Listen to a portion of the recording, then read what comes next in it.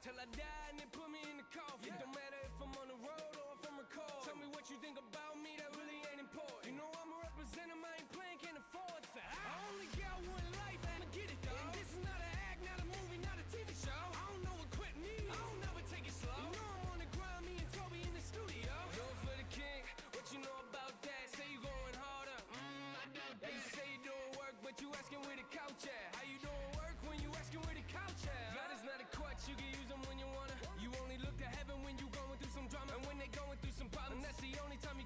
call them.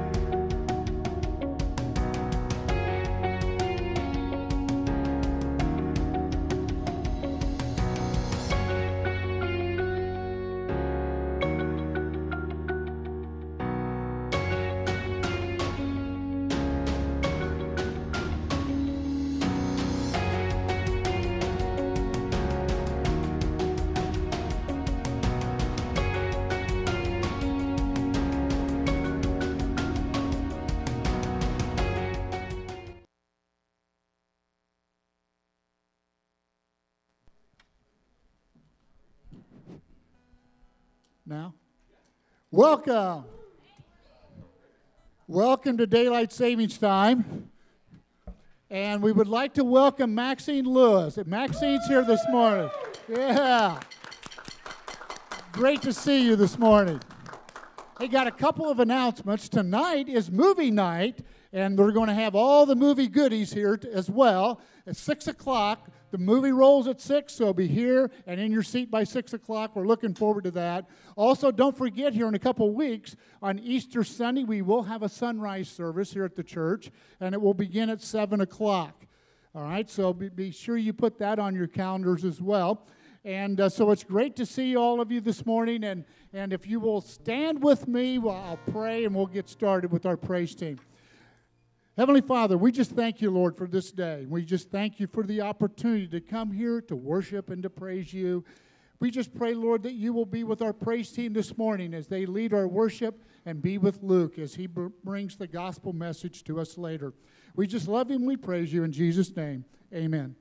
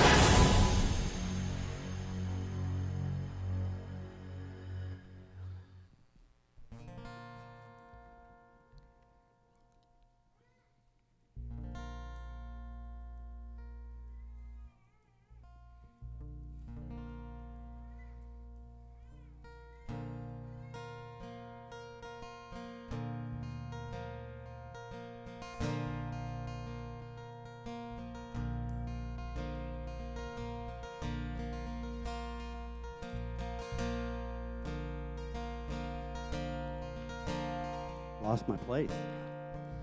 Timmy. Well, it's up there, but I think I want to read out of my Bible here. Sweet. So thank you.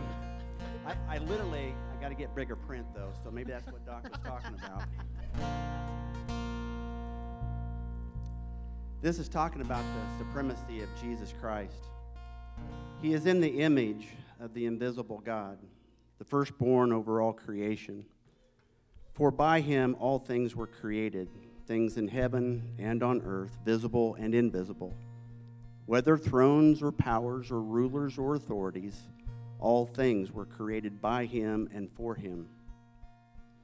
He is before all things, and in him all things hold together. And he is the head of the body, the church. He is the beginning and the firstborn from among the dead, so that in everything he might have the supremacy.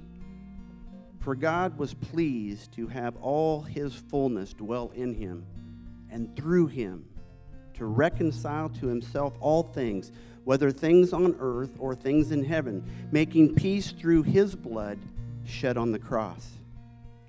Once you were alienated from God and were enemies in your minds because of your evil behavior. But now, he has reconciled you by Christ's physical body through death to present you holy in his sight, without blemish and free of accusation. If you continue in your faith, established and firm, not moved from the hope held out in the gospel, this is the gospel that you heard and that has been proclaimed to every creature under heaven, and of which I, Paul, have become a servant.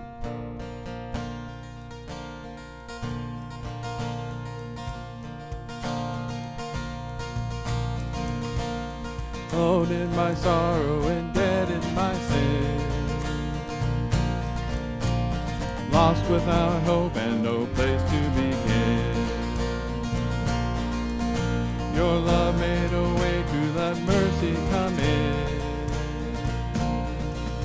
When death was arrested and my life began.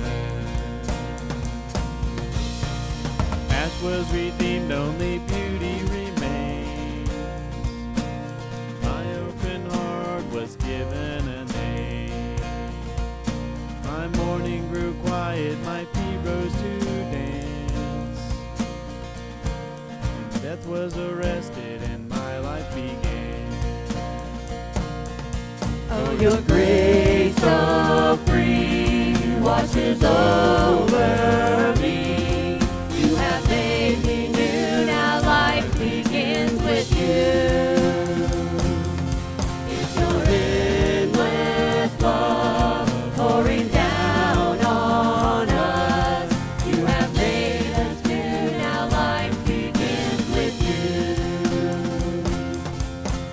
Released from my chains, I'm a prisoner no more.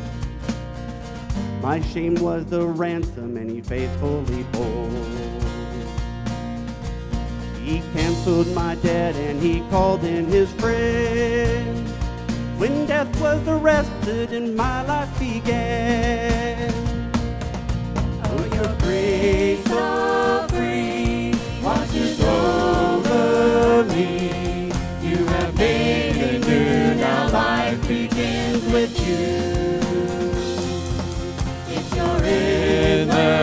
love pouring down on us. Have made us new, now life begins with you.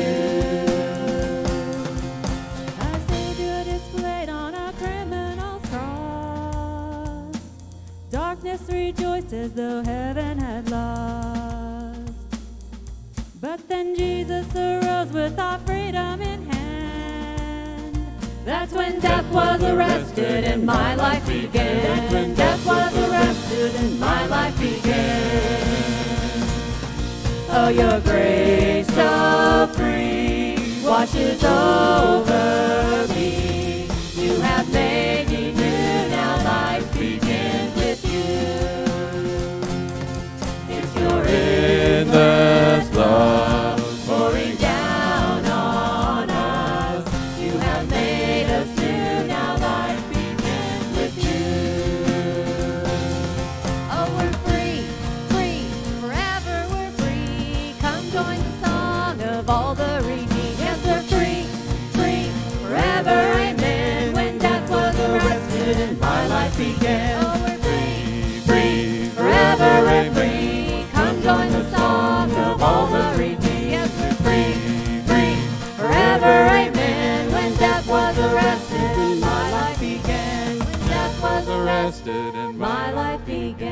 when death was arrested and my life began. Everybody take a moment and please greet each other.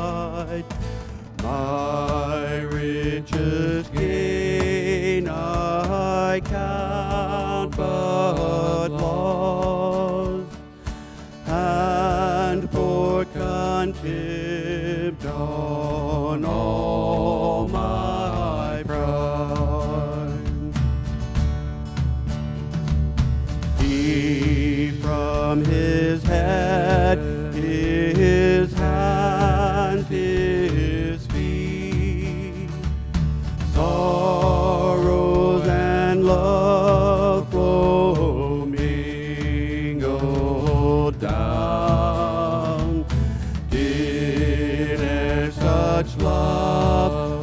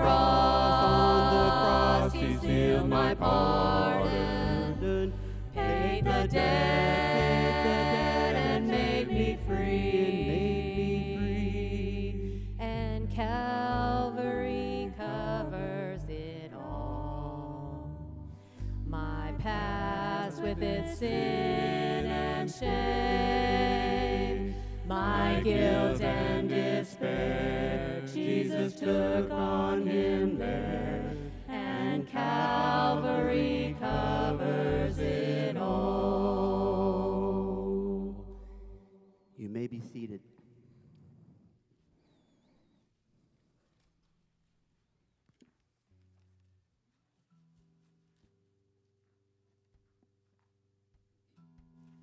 Jesus was talking to his disciples, and he was letting them know for the first time, in several times that he spoke about this, and it was of his death and resurrection. So Jesus predicts his death. He then began to teach them that the Son of Man must suffer many things and be rejected by the elders, chief priests, and teachers of the law, and that he must be killed and after three days rise again. He spoke plainly about this, and Peter took him aside and began to rebuke him. But when Jesus turned and looked at his disciple, he rebuked Peter. Get behind me, Satan, he said. You do not have in mind the things of God. Then he called the crowd to him along with his disciples and said, If anyone would come after me, he must first deny himself and take up his cross and follow me. For whoever wants to save his life will lose it, but whoever loses his life for me and for the gospel will save it. What good is it for a man to gain his whole world, yet forfeit his soul? Or what can a man give in exchange for his soul?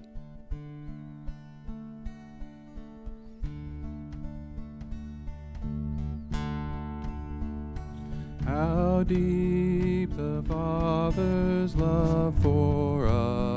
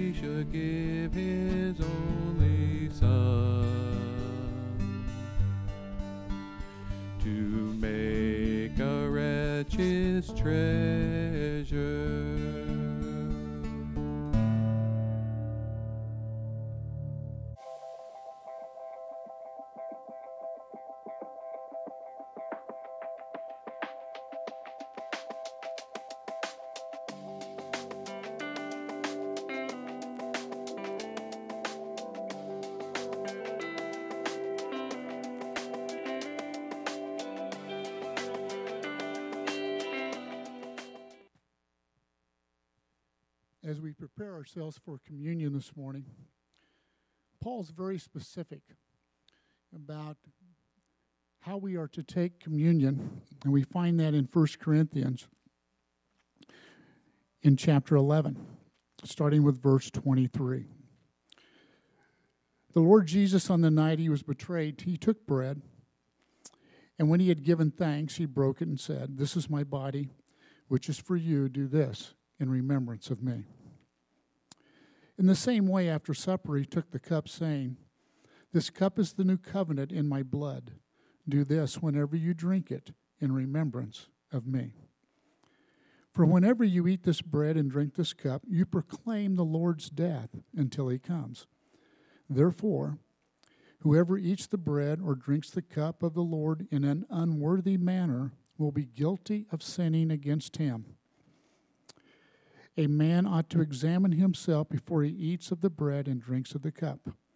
For anyone who eats and drinks without recognizing the body of the Lord eats and drinks judgment unto himself.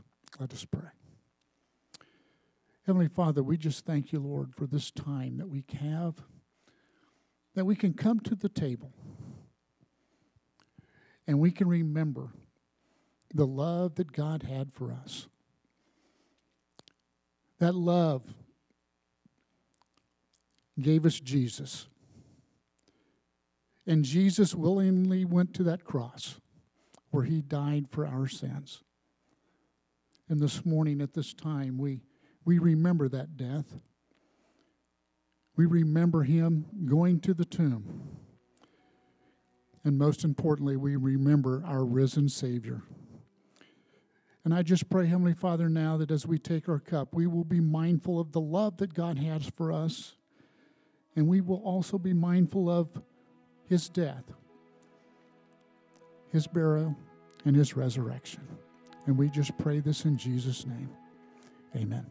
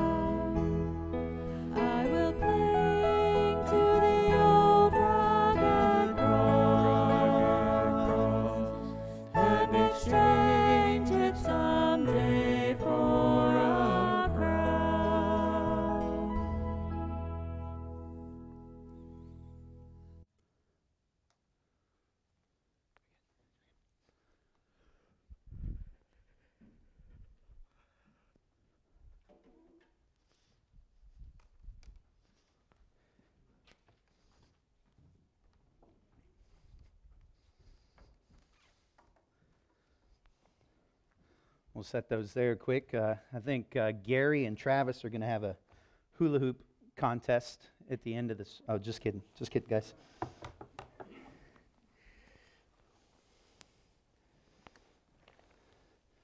If you want to, if you have your scriptures with you, uh, you're welcome to turn to John 17.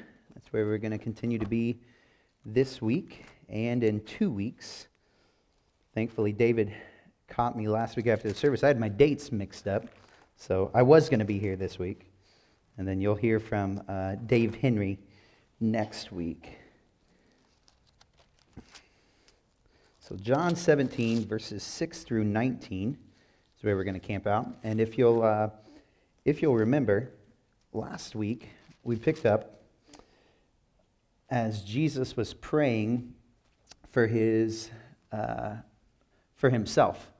So we had said that in John 17 here, we get to peek into this prayer uh, that, that Jesus is pouring out from himself before his Father, and it's a bit of an oddity. It's a bit of an- oddity because we hear about prayer in Scripture, and we hear about how prayer is important to Jesus.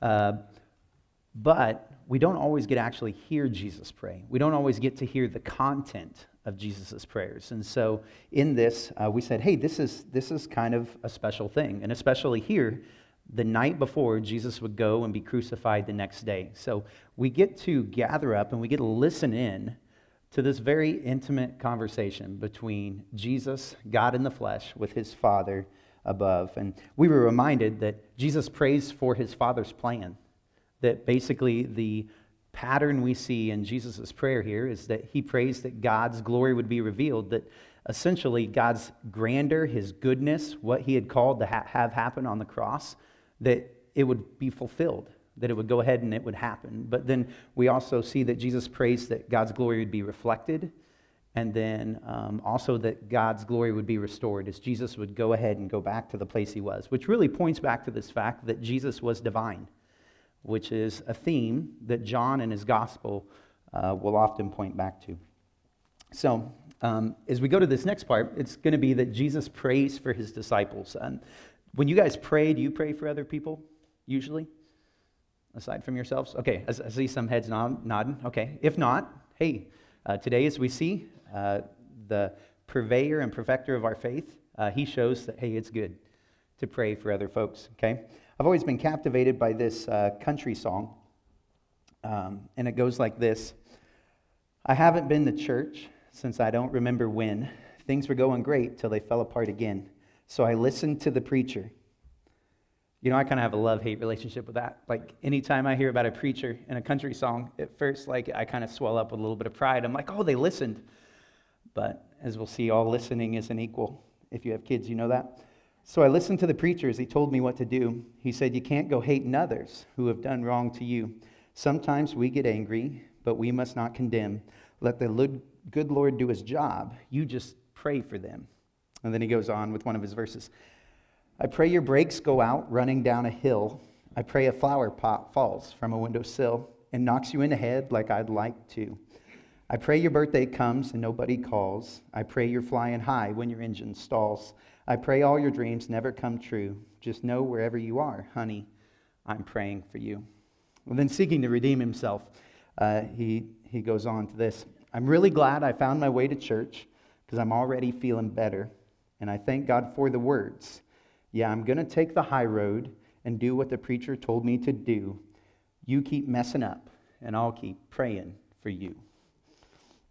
So that's not really the kind of praying for somebody I was talking about, and that's not the type of praying for somebody we're going to talk about this morning, but I can't help but think about that when someone says, "Yeah, I'll be I'll be praying for you." So if you ever tell me that, I will take you seriously, but that's just always in the back of my mind. So let's start with the first 3 verses here in John 17. We're going to look at verses 6 through 8.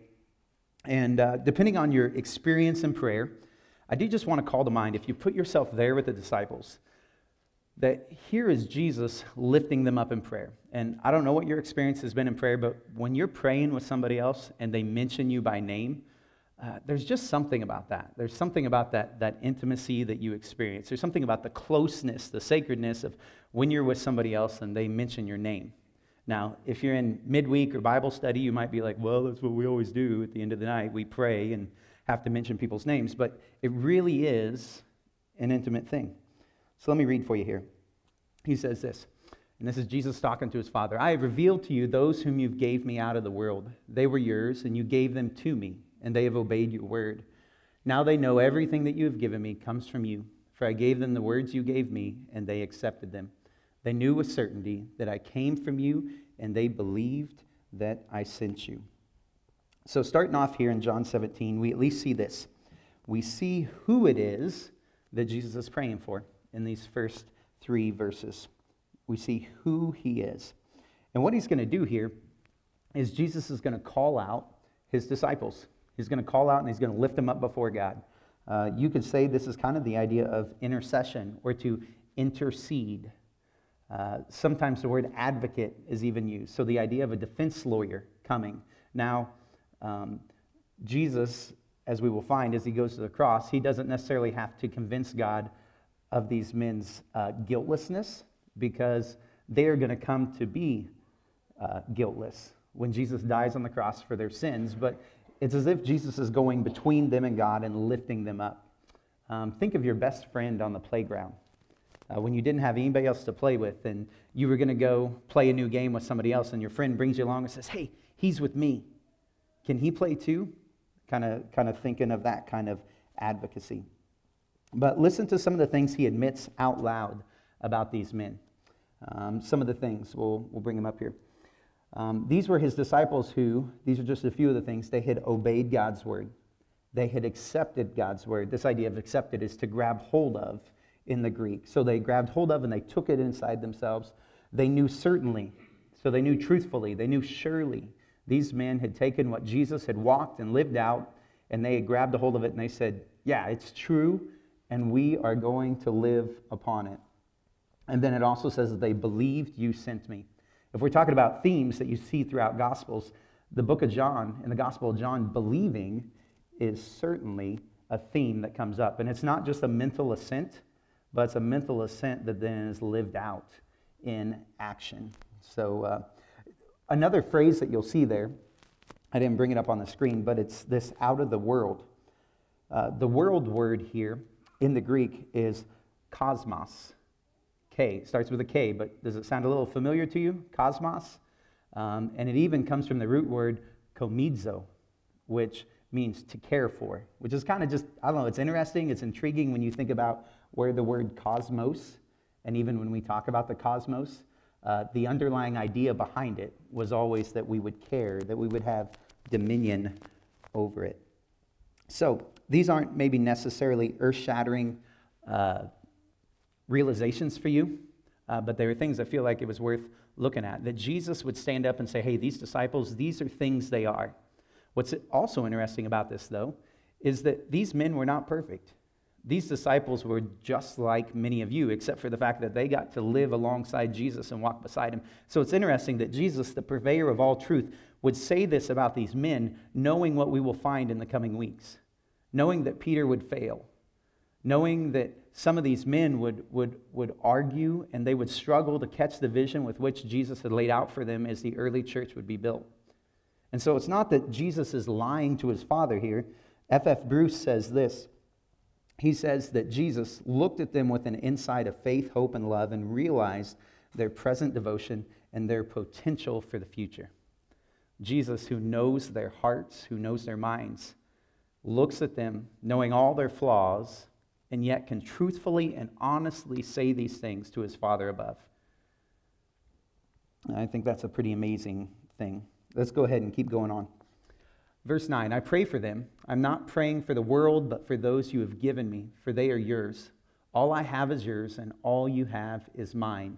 And glory has come to me through them. The message translation uh, puts it this way that idea of glory has come to me through them. My life is on display in them. Right? Uh, like we said last week when I mentioned that uh, as we watch our kids grow up and we see their personalities revealed, what a compliment it is by Jesus to say to his disciples the essence of, My life is on display in them. What I have taught, what I have walked, what I have uh, thrown out there for others to do, they now do and is displayed. Let's go ahead and finish picking up this little section. Uh, verse 11 I will remain in the world no longer, but they are still in the world, and I am coming to you. Holy Father, protect them by the power of your name, the name you gave me, so that they may be one as we are one. While I was with them, I protected them and kept them safe by the name you gave me. None has been lost except the one doomed to destruction, so that Scripture would be fulfilled. So, what we're going to pick up on here is we're going to pick up on, uh, we saw who Jesus is praying for, and now we're going to see what Jesus is praying for in these disciples. And, and that's going to help us begin to understand uh, these, this last bit of this prayer, okay? So, uh, first off, he prays for their protection. And he prays for their protection through God's name. And that's one of those phrases that we're probably willing to just kind of read over and be like, "Ah, I don't know what that means. I'll just keep reading. Uh, but at that time, the idea of praying for something in someone's name or even asking for something in someone's name isn't all that um, disconnected from nowadays. Uh, someone's name was intricately woven with their character and their attributes. And we know this now. Like if you say somebody's name, you kind of know how much leverage you can get out of it.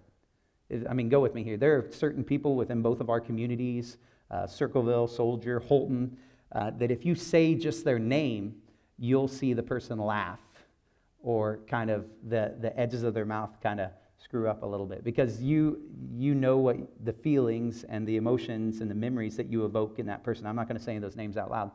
Uh, or if you say somebody else's name and you say something like people might take it with more truth because you're like oh yeah i know that person. They're, they're trustworthy.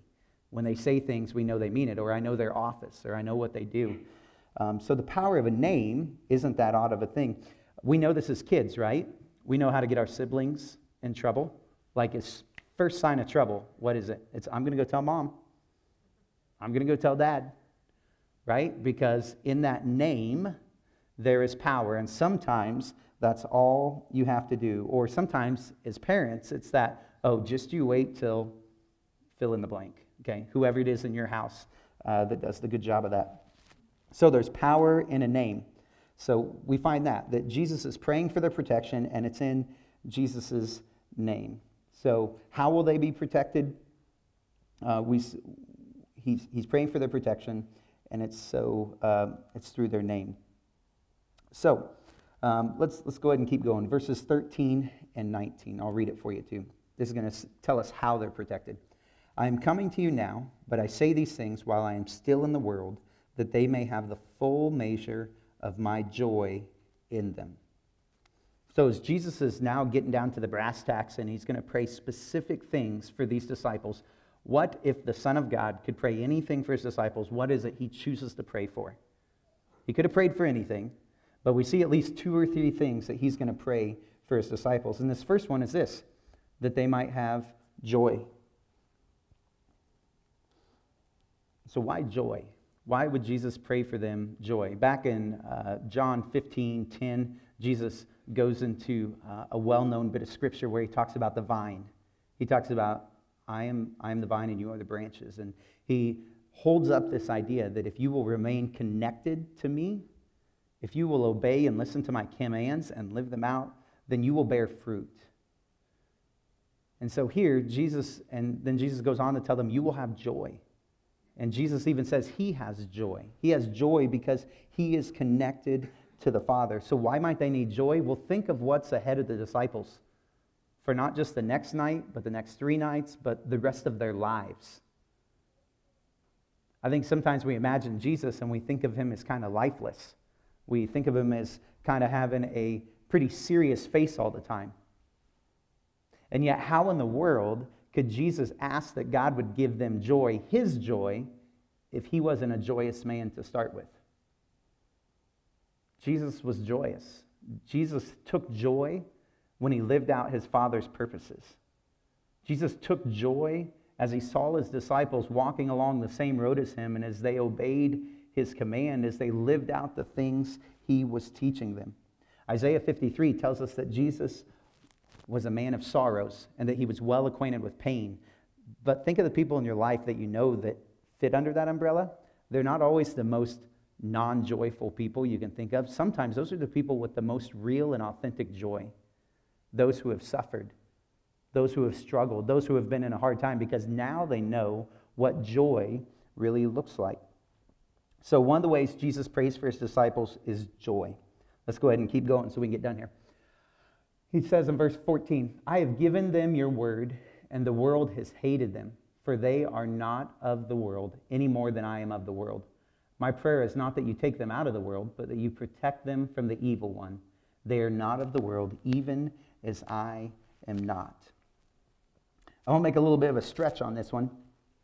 You, you may not necessarily hear it here, but as I continue to sift through this chapter, to me it seems like that as Jesus prays here, it's more about for effectiveness for his disciples, that they would go and do and be what it is that he's called them to be, that these 11, uh, because what, what we were told uh, on up here, these 11, that they would be able to live out the purposes God gave them to.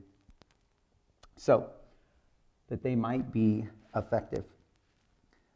Jesus has given the disciples something. He's, he's given them the word. And what do the scriptures tell us here about the word?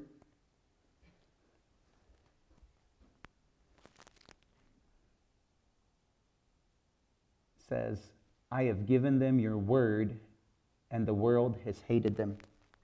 Does anybody else get the notion nowadays that the truth God has preserved for us isn't all that popular? Does anybody get that notion? Like sometimes I read things like that in Scripture, and, and I get it. I get it. I'll, I'll be right up front that sometimes we don't always get that transmission of truth in the way it should. I get it that sometimes the truth that we have and that exists in our scriptures, that we're not always great at purveying it in the way that it should. But man, if Jesus' words were ever on the dot, they are right now, that his word is sometimes hated by the world. And then the disciples, they would have struggle ahead of them too. You know, because this is Jesus talking specifically to his disciples. Uh, they would have clashes later on with Rome is they would assert that Christ is Lord and Caesar is not. They would have clashes later on as they clashed with their own countrymen and their own fellow Jewish brothers. So it's not much of a stretch to step in the disciples' shoes and to understand what it might be like to be misunderstood and to be thought that even though you have God's truth, that you're not being accepted. Notice in verse 15, I kind of wonder if this is one of those spots where maybe it's the disciples, I don't know if they have their heads down praying or whatever, but you know, I, if you're one of those people that when folks are praying, like you're kind of nodding your head um, because you agree with it or that's just how you pray, I imagine that if the disciples were kind of going along with Jesus, at this point in verse 15, I can't imagine that uh, maybe one of them like opened his eye and perked up and looked at the rest of them because look at what Jesus prays for him. He says, My prayer is not that you take them out of the world. It's kind of like, wait, t- time out, Jesus. Like, you're not going to take us with you? Like, why are you praying that we have to stay here? You get to go, but we have to stay here. And he doesn't pray that they would be taken out of the world, but he prays that they would be safe from the evil one. So he's praying that they would stay in here on the earth and that their souls would be safe. Because, right, we just read maybe up in verse 12 or so that there was one that was lost, there was Judas that Satan had got his, his talons into. The reason why I say this section would seem to be a prayer for their effectiveness is because these disciples were more used to the Father here on earth at this time than they were in heaven. And Paul Butler says this in the College Press commentary The Christian must never desire to abandon the world, he must always desire to win the world. Being in the world and not of the world is a pretty challenging thing for us. And as far as a message, like we could probably spend a week talking about, or, or a month of sermons talking about what does it mean to be of the, in the world and not of it. But that's not the angle we're at right now. The angle we're at is, is we're just listening to this prayer that Jesus has for his disciples. We're not always sure where we belong when it comes to being in the world but not of it. Some, some people try and simplify it of, hey, it's okay for the ship to be in the ocean, but you start to get too much ocean in the ship and you got a problem. That's maybe one way to think about it. But Jesus, if nothing else here, he prays that they might be effective, that they might be able to live out what it is he's called them to. Let's look at this last bit, verse 17 through 19. Sanctify them by the truth. Your word is truth. As you sent me into the world, I have sent them into the world. For them I sanctify myself, that they too may be truly sanctified. Let me switch it up on you just a second. Verse 19, uh, probably clearly, I told you that sometimes this bit of scripture has a different name. This is also called the high priestly prayer because this is Jesus doing a lot of things that the high priest would have did in the temple. And so Jesus in this last one, when he says, I sanctify myself, it's probably they simply saying, hey, I'm stepping up. I'm becoming the lamb. I will follow through with this. I will be what it is you need me to be, Father. He is setting himself apart. But in verses 17 and 18, as he says sanctify, it's a fancy $5 word that we get that means to set apart or to be holy. Think about grandma's dishes that you keep in the bureau behind the glass that only get taken out at special times. Okay? I have a set of my grandma's. They're in a Rubbermaid container wrapped in paper towels in the basement, and we get them out only at special times. We haven't had a special enough time to get them out yet, but we will someday. But that is the idea of sanctified to be set apart, to be used for a purpose, but a special purpose. To kind of help you think about this, is that Jesus' desire for his disciples was the same as his goal for the earth. Uh, one of the commentaries, uh, Carter and Wredberg in Christ centered exposition, they mention it this way. And, and this is kind of what I want to end on because I think it helps us maybe understand what it was Jesus' desire in this prayer was. They say that when it comes to this idea of being in the world but not of it, we maybe have a couple different options for what that looks like. Um, it said the first one is this we can be in isolation. And it's a spot where we're trying to balance two things.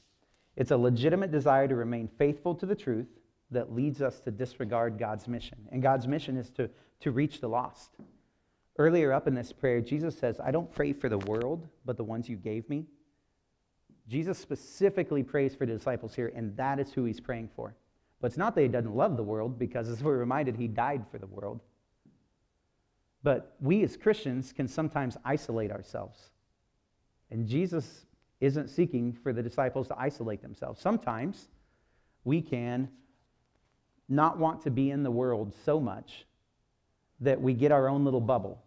That if we had our way, we would move out of town 15 miles on 40 acres, and we think, hey, the best way to follow after God, to do my best and to obey and to be sinless, is I will just distance myself from the world.